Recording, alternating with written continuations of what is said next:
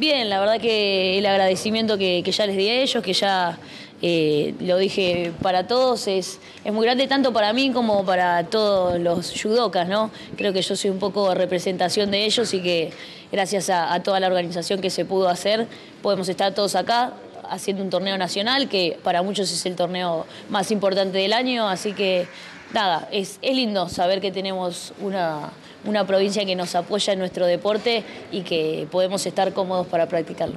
sabemos que vas a hacer la bandera en el Campeonato Nacional de Judo que se va a concretar aquí en Corrientes. ¿Vas a permanecer hasta el último día de competencia? ¿Cómo es tu, presencia, tu estadía en Corrientes?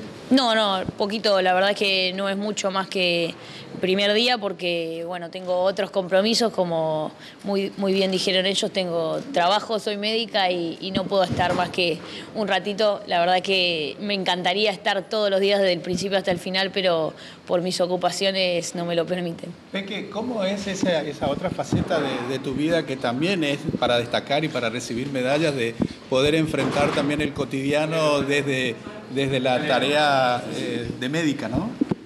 Eh, sí, bueno, a mí siempre me gustó la medicina, así que hoy feliz de poder ejercerla, de tener el trabajo que tengo. Si bien me acorta mucho los tiempos de entrenamiento o de viajes, como, como le decía uno de tus compañeros, me encantaría estar desde el primer día hasta el último, pero no es posible porque trabajo.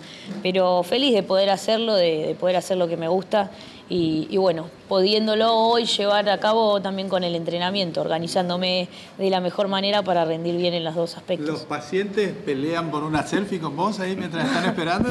no, no se pelean, pero sí, el que no se enteró que, que lo iba a atender alguna alguna médica conocida, tal vez en el ámbito deportivo, se entera ahí y si todo te piden una foto, una selfie, algo.